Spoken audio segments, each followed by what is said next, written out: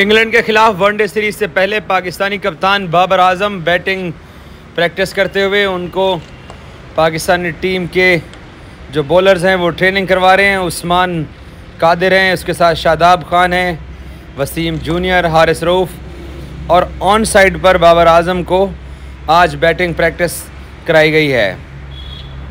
नवाज़ नवाज़ ने of side पर ball किया, लेकिन बाबर आज़म ऑन साइड की ट्रेनिंग कर रहे हैं।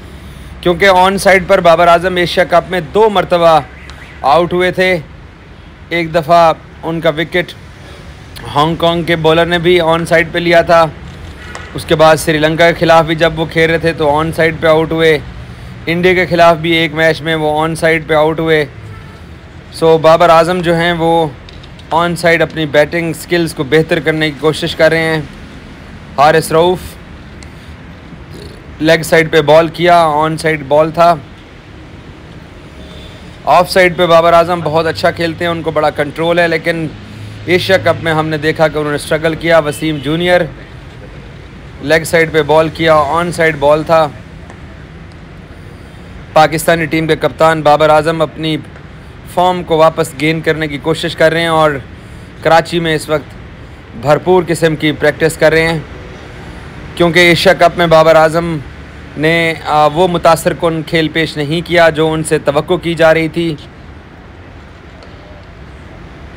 नवाज़ उस्मान कादिर, इसके अलावा वसीम जूनियर और आमिर जमाल, नौजवान ऑलराउंडर और दीगर खिलाड़ी भरपूर किस्म की ट्रेनिंग करवा रहे हैं कप्तान को। सकलैन मुश्ताक इस वक्त मॉनिटरिंग कर रहे हैं। नसीम शाह है।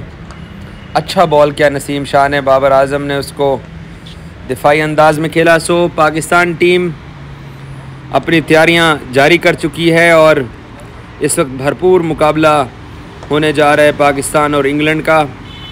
पाकिस्तानी टीम अपने आखिरी दो टी ट्वेंटी मैचेस हार चुकी है, जबकि अफ़गानिस्तान के ख़िलाफ़ पाकिस्तान को नसीम शाह ने कामयाबी दिलाई थी। अब ये वर्ल्ड कप की तैयारियों के सिलसिले में ये जो सात टी ट्वेंटी मैचेज़ हैं, बहुत लंबी ये सीरीज़ है। अमूमन सात मैचेस की सीरीज़ बहुत कम देखने में आती है। पाँच मैचेस की सीरीज़ खेली जाती है या तीन मैचेस की सीरीज़ खेली जाती है।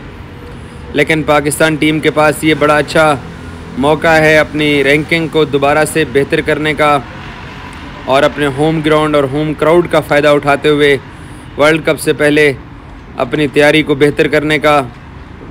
कप्तान बाबर आज़म जो हैं वो अब ओपनिंग स्लॉट पे खेलते हैं, लेकिन देखते हैं कि वो ओपनिंग स्लॉट तर्क करते हैं या नहीं करते हैं ये फ़ैसला तो सीरीज़ में होगा।